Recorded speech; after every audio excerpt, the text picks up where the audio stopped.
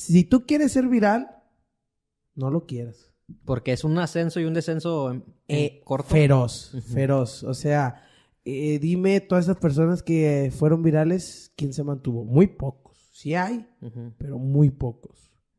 Y nosotros no. Nosotros queremos subir y mantenernos, nada más. Queremos mantenernos, mantenernos y, y subir y mantenernos. Ese es el chiste. Sí. Si alguien quiere crear contenido, suba, suba, suba y mantenga a la gente. Decía este Adrián Marcelo, date la oportunidad de ir mejorando poco a poco. No te desesperes. Sí, O no. vayas de que, eh, voy con uno más grande, eh, compárteme, eh. O sea, si ese camino a lo mejor no te, no te va a ayudar tanto como tú aprender de tus errores y tú construir tu, tu propio, tu propia gente Sí, o, sí, que, sí. o ir mejorando. A lo mejor tú dices, ay, ¿por qué no me hago viral o por qué no soy tan conocido? A lo mejor porque necesitas como persona ser más maduro y necesitas saber aprender más y necesitas ser mejor en algoritmos, necesitas ser mejor en etiquetas, en todas esas cosas que a lo mejor no, nadie te enseña, pero tienes Tú que ir solo. aprendiendo con el tiempo. Entonces sí es darte la oportunidad de, de, de hacerte mejor y no es esperarte Claro. y construirte eso, que es lo que tú estás diciendo, que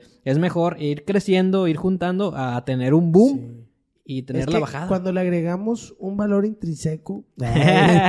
es que ya estaba en el podcast y ya me sentía acá. Te, te dieron ganas de decir Ya, así palabras difíciles. es que ahorita dijo Bill Gates no sé qué y yo así como que ¿quién es ese? Billy yo y el de Green Day, el de Green Day. ¿Quién es Green? Ah, la mecha. Una banda, una banda. Ah, ok, ok. Eh, como el de Fire Mama, ¿quiénes son los Vengadores? Ándale, sí, cierto. Es-